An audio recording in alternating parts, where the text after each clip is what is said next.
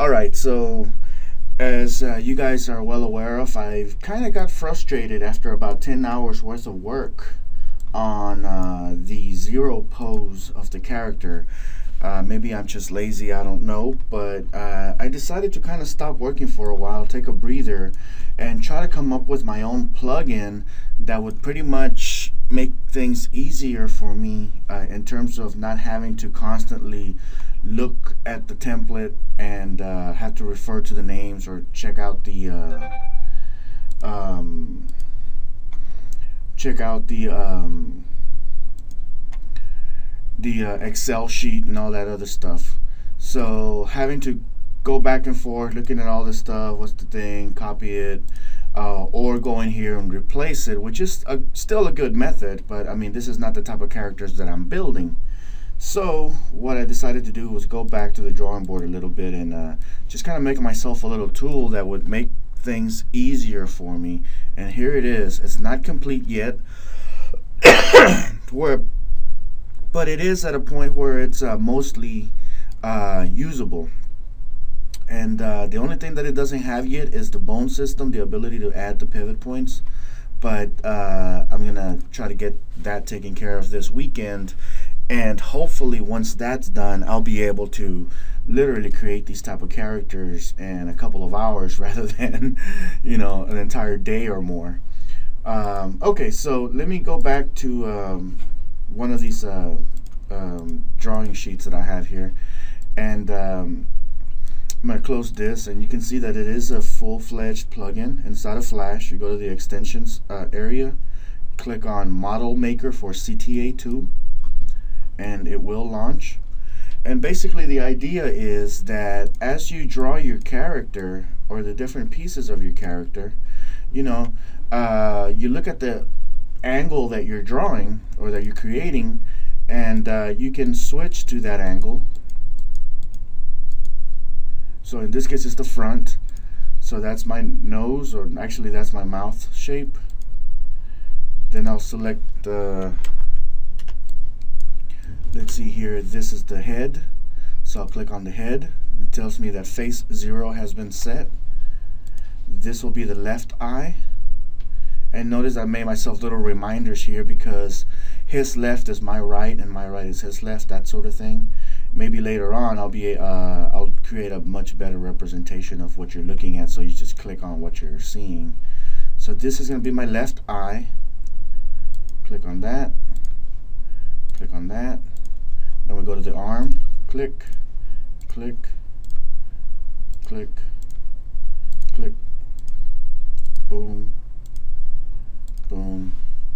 And hopefully once this is done, uh, I'll be able to apply the bones or create the bone system in a way that it just applies it uh, as you're doing this stuff or something. I'll come up with something.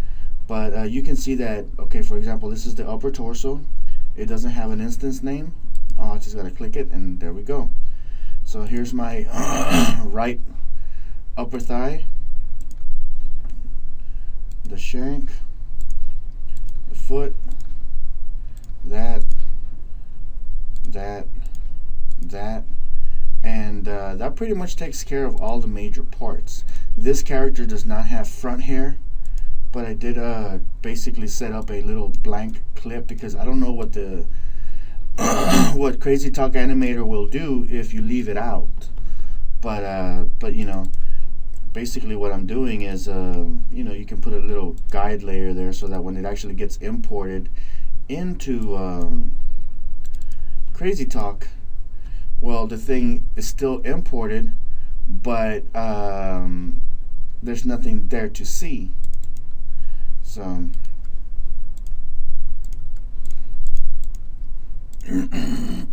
so anyways, there's my hair. That's my front hair. I don't have eyebrows, otherwise I would just click them there. And I could just go out throughout the entire process. Just the back hair, click on that. And uh, basically I have all my instance names uh, nicely set up. I didn't waste any time looking up the definitions in the Excel sheet. I didn't waste any time uh, going back and forth into the uh, FLA file, the template and I didn't have to go in there and have to do the replacement method. okay? Um, which uh, you know for a lot of artists having to replace something and make it fit is probably a lot more difficult than it is to um, than it is basically to create the model the way you want it. So I'm gonna create a new file real quick. And this is gonna be for my 45 degree angle and I'm just going to create a basic character with uh, pretty much all the elements.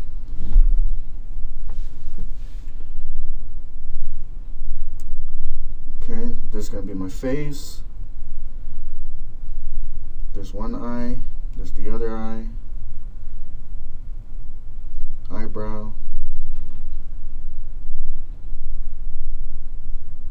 mouth,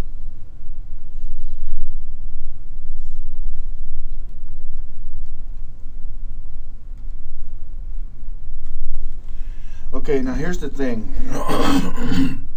you don't actually have to convert everything into a symbol first. I made sure that if something is not already a symbol, that it basically tells you, hey, you know what, I'm about to convert this thing into a symbol. Are you sure you want to do that? Okay, so, and the reason I did that was because sometimes you might select more than one. So if I select uh, just the eye, for example, I'm converting it to the 45 degree angle eye. It tells me the selected item will be converted into a symbol first. If this is not what you wanted, then obviously, you know, press Control Z to undo it. But it has been converted into a symbol. And now I can place it on the face. I can do the same thing with the other eye.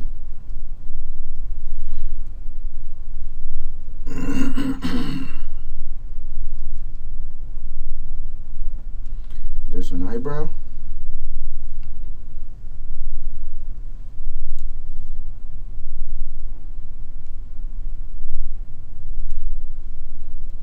There's another eyebrow.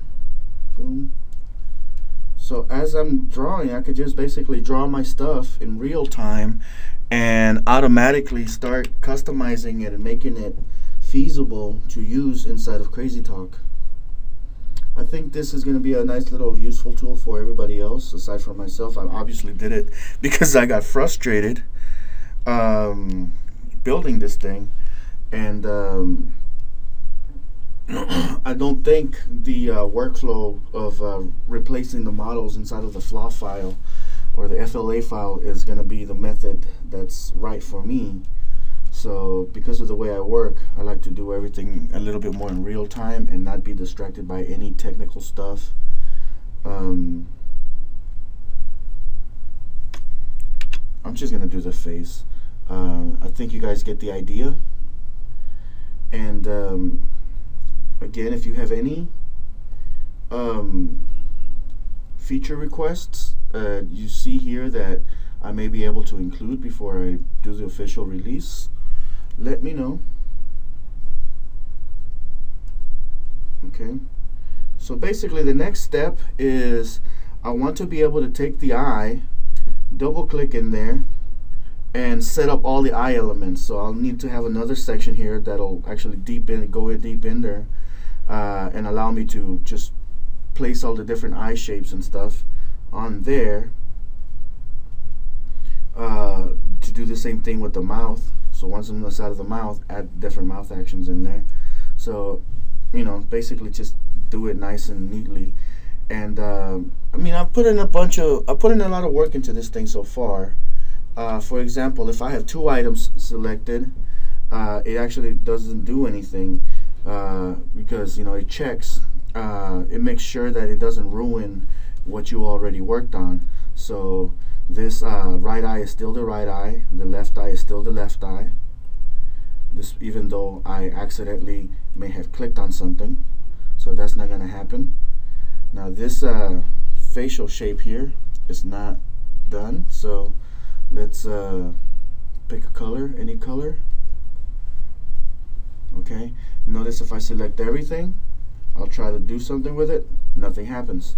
So it it, it has a lot of checks and balances in there uh, based on the way that I was working uh, to keep you from committing like certain mistakes or technical errors. So I have my face selected okay? So now that's a that's a face. And of course using flash as regular stuff I can you know realign it in there. Okay so I have a complete character head so far except for the front hair and the back hair which I can still do but I'm not going to at this point because I think you do get the idea and of course if uh, I don't know if CrazyTalk Animator requires every element to be in its own individual timeline uh, or layer. Uh, I've experimented with it. It doesn't seem to be a big deal, but in if in case it does require it, you can always right-click everything, select um, distribute to layers, and every layer gets created with a single item inside of it and it has the proper name based on the name that was on the on the system there on the on the device on the shape. So there you go. Um, again you know if you have any suggestions ideas things that you know you think that you might need in your workflow.